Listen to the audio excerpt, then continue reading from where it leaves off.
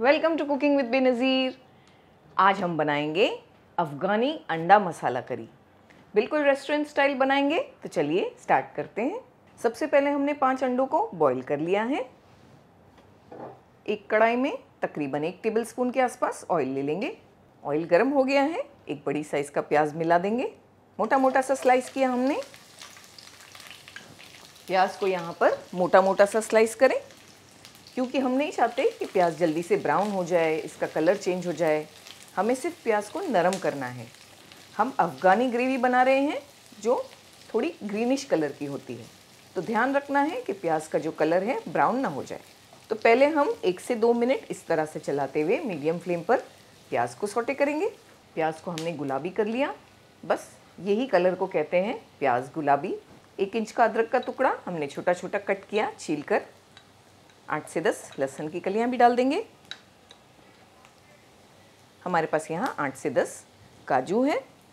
काजू को हमने थोड़ा सा आधे घंटे पहले पानी में भिगा दिया था, क्योंकि अक्सर ऐसा होता है, हम मसाले ग्राइंड करते हैं, सारी चीज़ें तो ग्राइंड हो जाती हैं, लेकिन काजू के छोटे छोटे पीसेस रह जाते हैं।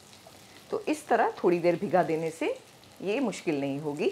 अब ये सारी चीज़ों को हमने फ्लेम लो करके दो से तीन मिनट और सोटे करना है। दोस्तों, अक्सर ऐसा होता है कि सुबह हम उठते हैं और बेड से खड़े भी नहीं होते और दिमाग में एक ही सवाल आने लगता है, भाई, आज क्या पकाएँ? आज क्या पकाएँ? होता है ना ऐसा। अगर आपके साथ भी ऐसा होता है तो हमसे ज़रूर शेयर कीजिएगा। ये सबसे आसान रेसिपी है। अगर घर में कोई चीज़ नहीं है तो अंडे तो रहते ही हैं। फटाफट से ये बना सकते हैं।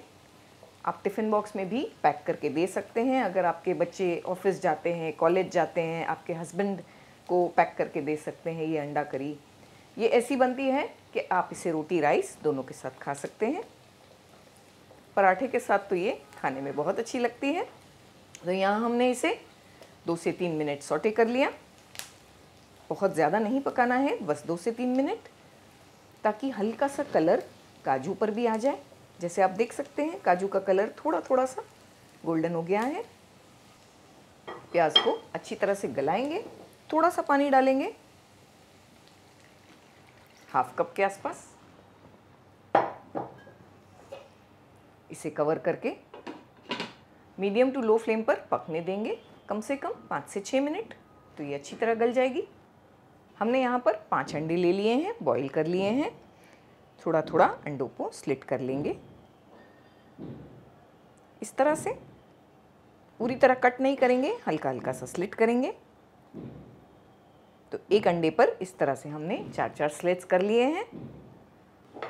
एक पैन में थोड़ा ऑयल ले लेंगे, एक टेबल स्पून के आसपास। ऑयल को अच्छी तरह से गर्म होने देंगे। ऑयल गर्म हो गया है, जो अंडे हमने कट करके रखे हैं, वो डाल देंगे।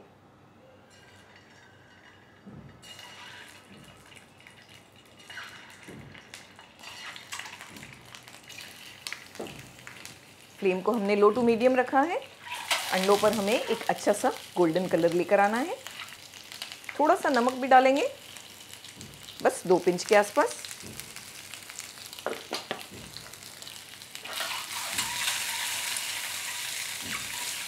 तीन से चार मिनट हो गए। अच्छा सा गोल्डन कलर आ गया है। फ्लेम को बंद कर देंगे। प्याज को भी चेक करेंगे। छः से सात मिनट भी हो गए थे। प्याज को पकते। बस थोड़ा ही पानी रह गया है, प्याज गल गई है, सारी चीज़ें गल गई हैं आपस में। फ्लेम को बंद करके एक अलग बर्तन में निकालेंगे ताकि जल्दी से ये ठंडा हो जाए।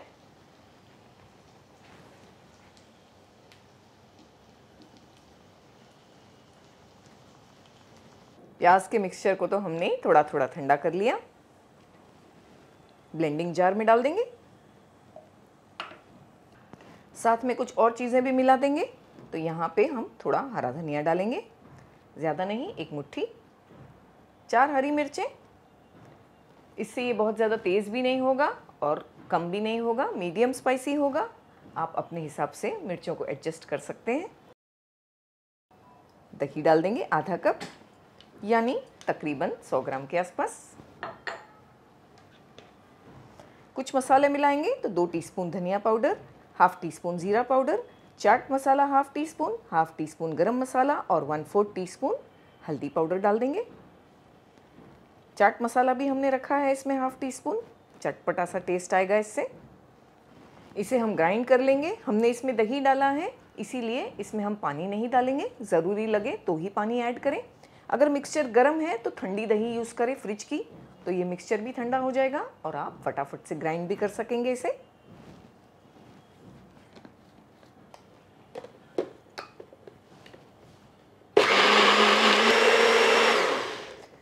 अच्छी तरह से बिल्कुल बारीक सा हमने मसाले को तो ग्राइंड कर लिया। चलते हैं ग्रेवी बनाने की तरफ़। उसी कढ़ाई में जिसमें हमने प्याज को सोटे किया था, उसमें ऑयल ले लेंगे। यहाँ हम तीन से चार टेबल स्पून ऑयल डालेंगे ग्रेवी बनाने के लिए। ऑयल गर्म होता है, कुछ खड़े मसाले मिलाएँगे। हम डालेंगे इसमें दो पीस तेज पत्ते, एक बड़ी इलायची, दो हरी इलायची तीन लौंग और दो छोटे पीस दालचीनी के। मसालों को आधी मिनट ऑयल में इन्फ्यूज़ होने देंगे। फिर इसमें मसाला डालना है।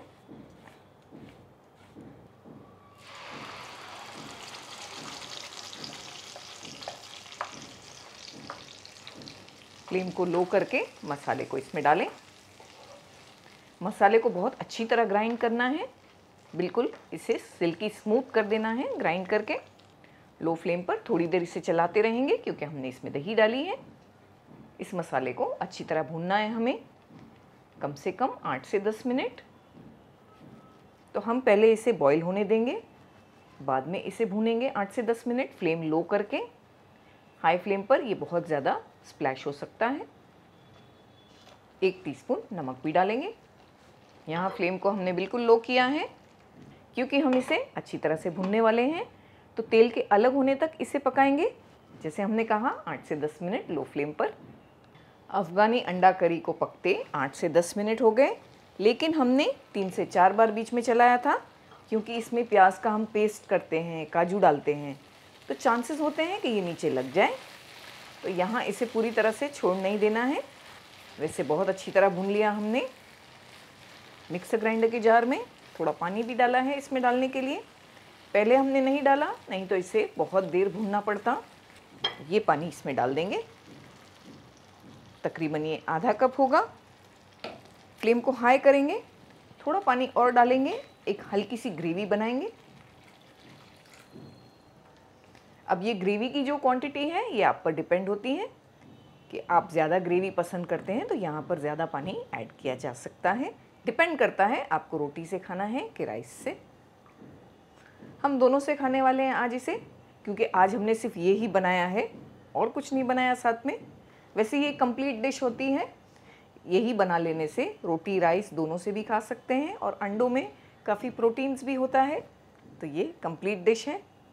हमें ये परफेक्ट लग रही है ग्रेवी जैसे आप देख सकते हैं। कलर भी बहुत ही प्यारा आया है। कसूरी मेथी डाल देंगे। तो यहाँ एक टीस्पून कसूरी मेथी इस तरह से क्रश करके डालेंगे। थोड़ा सा हमने माइक्रोवेव कर लिया था, सेक लिया था कसूरी मेथी को। तवे पर भी सेकी जा सकती है। और इस तरह से जब इसमें बॉईल आ जाएगा, हम अंडे भी डाल देंगे।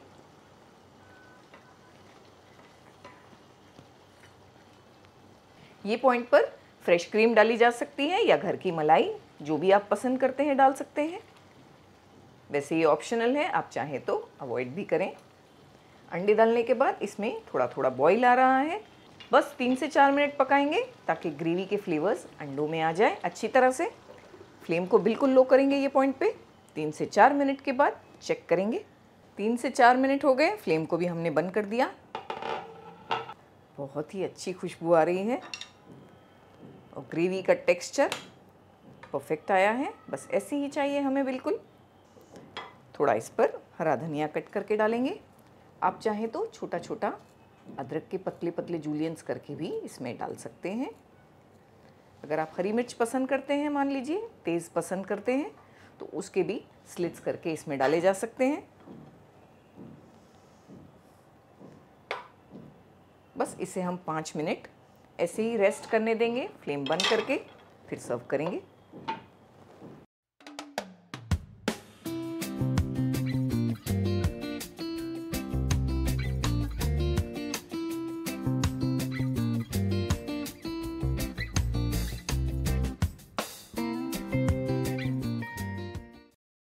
तो देखा आपने कितना फटाफट से हमने तैयार कर ली, अफ़गानी अंडा करी।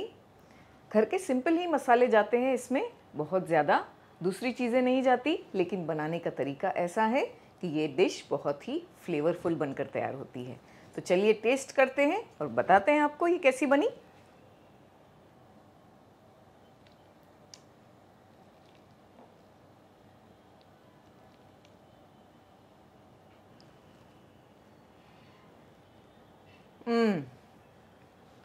मज़ा आ गया।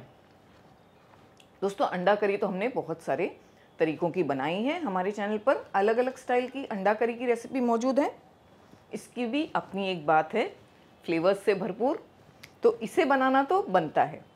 तो ज़रूर से इस रेसिपी को ट्राई कीजिएगा। हमें अपनी दुआओं में याद रखिएगा, अपना ख़ास ख्याल रखिएगा। अल्लाह हाफिज़।